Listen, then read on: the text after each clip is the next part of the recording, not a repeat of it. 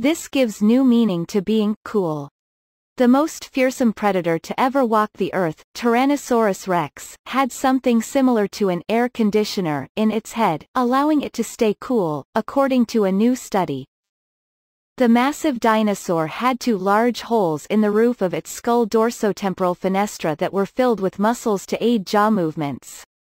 But University of Missouri anatomy professor Casey Holliday said that he was intrigued by the unusual feature, causing him to examine it more closely. To that end, he and a team of researchers used thermal imaging on modern-day alligators at a park in Florida.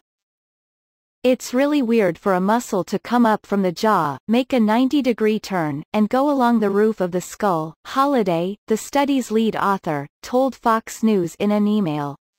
Yet, we now have a lot of compelling evidence for blood vessels in this area, based on our work with alligators and other reptiles. The researchers found that when they are trying to warm up, there are hot spots in the roofs of their skulls, which show a rise in temperature. Larry Witmer, one of the other co-authors, said that like the T-Rex, alligators have holes on the roof of their skulls that are filled with blood vessels.